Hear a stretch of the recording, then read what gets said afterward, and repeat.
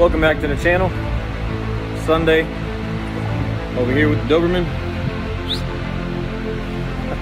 Uh, today I'm been at the shop most of the day. Keep looking at that car, man. That thing is so sick. I have the uh, a really nice 91 MR2 turbo up on the lift. Car is a K24 with a precision or no boost lab 5858 turbo. Boost lab's a local company we work with here. Uh, great company. They manufacture their own turbos full service center injector cleaning blah blah blah. So let me show you a little bit of this car. It's pretty badass.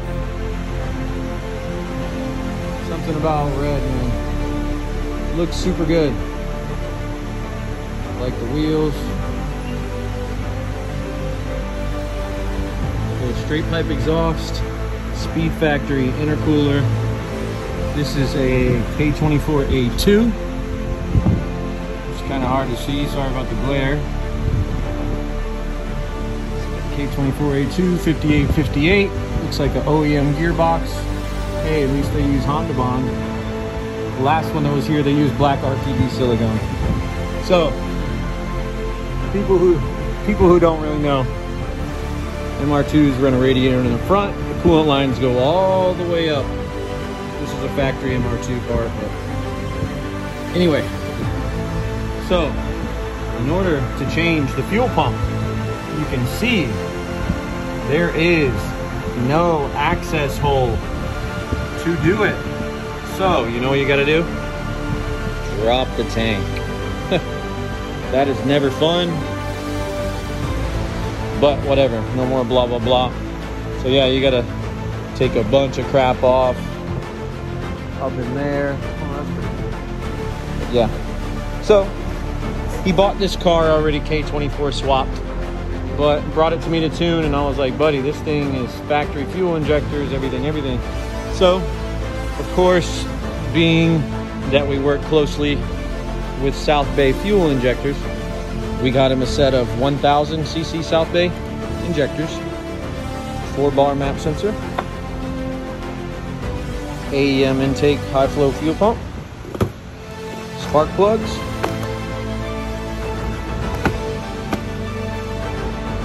yeah buddy, K-Tune fuel rail.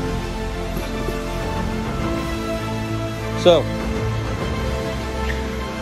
now we will be able to give it more than 1.4 pounds of boost. So check back in with you. Thankfully, anyway, what I was getting to was I didn't know if the guy who built the car in Pennsylvania had a Walbro fuel pump in it and maybe it just had stock injectors. So the whole time I was taking the tank out, I was like, wow, it really sucked if it had a Walbro fuel pump. But thankfully it doesn't. That's a factory Toyota pump. So checking in with you. We'll be back doing the install on the injectors. It's about five o'clock, so Sunday. So we'll see what happens, how far I get, okay? Check back in with you when there's rods on the floor. Tank is very weird. This thing, tranny jack, finally worth it. yeah, so this tank slides up in there. But you gotta put the electrical connections pump up in there. And she gets up in that little window. Check that out. Eh, first time doing one of these but I have a feeling it won't be the last. So yeah get her done. Going back in.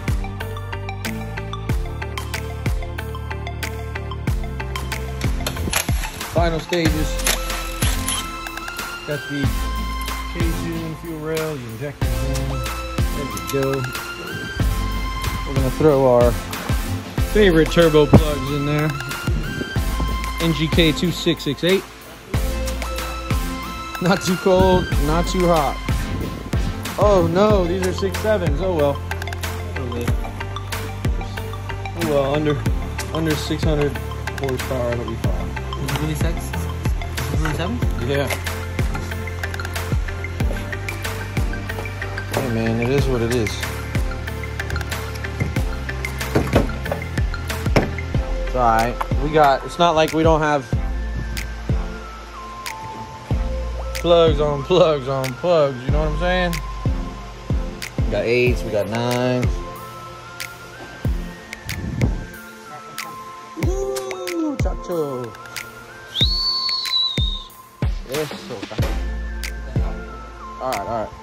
We're gonna drop those in.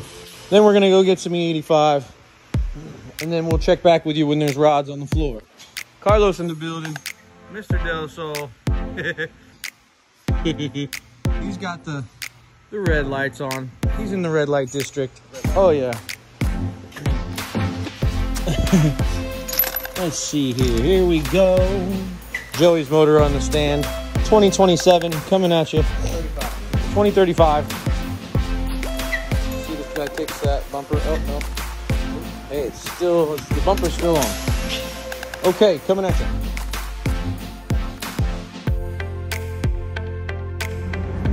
Final stages.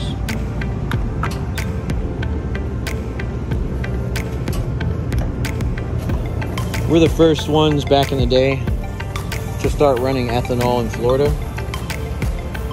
And it used to be like a dollar and 40 cents, dollar 60. Now it's $2.27 in Florida.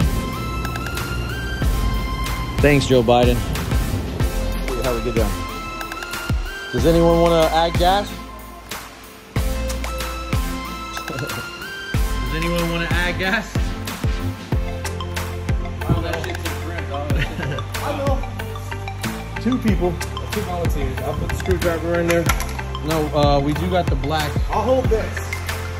We got the black funnel. Yeah, it's heavy. So apparently, if you fill them things up all the way, they can take 5.92 gallons. So we're gonna, this is an empty tank. We're gonna throw ethanol in it. We're gonna throw a map in here. Oh, I gotta connect the power in the level all right. All right, bye.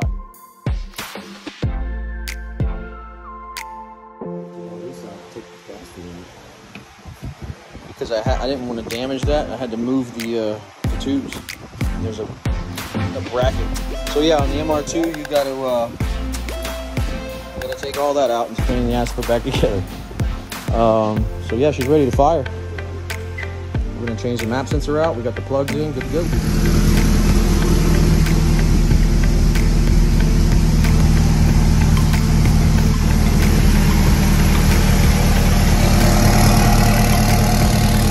That's it.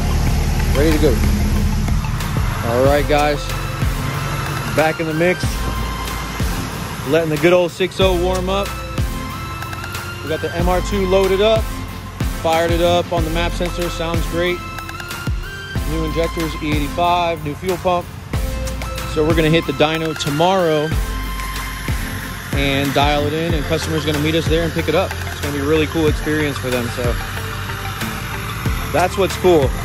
Drop it off, you know, not even able to hit VTEC and then convert it to ethanol with the right stuff and a good map and it's gonna probably make right under five. I'm calling it right now, so probably 460, 480, I'll feel comfortable. But uh, yeah, we'll check in with you guys out of here. This is what it takes. What is it? 1 a.m. 1:45 a.m. This is what it takes. Put in the hours, reap the benefits later on. All right, good night.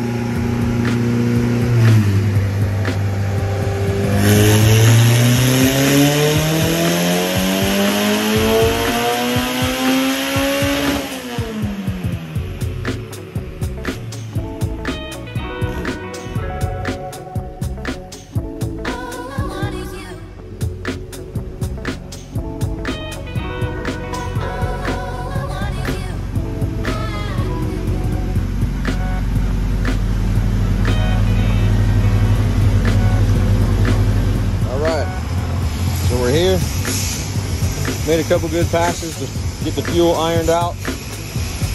It looks like we're looking good now. Fuel is good. Dyno or no dyno? Add power.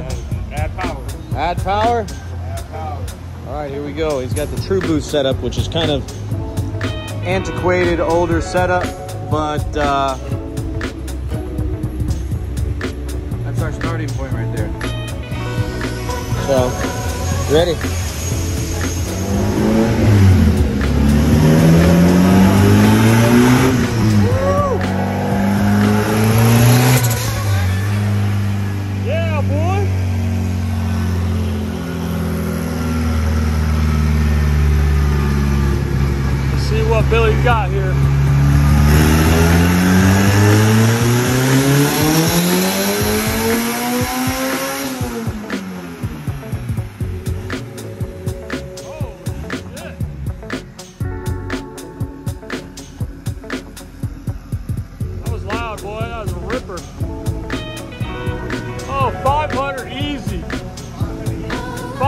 509.